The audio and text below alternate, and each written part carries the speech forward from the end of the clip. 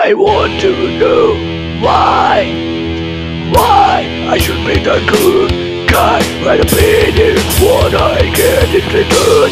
Why I should respect you, but all you do is disrespect me.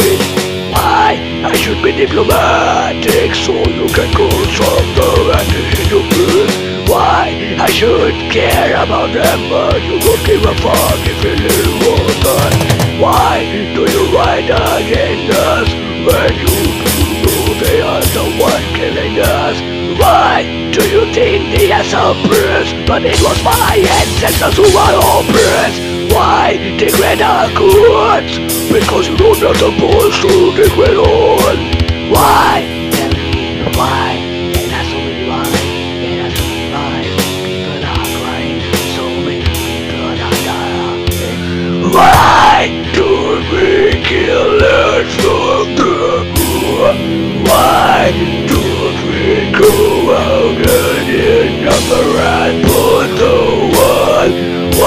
doesn't mind.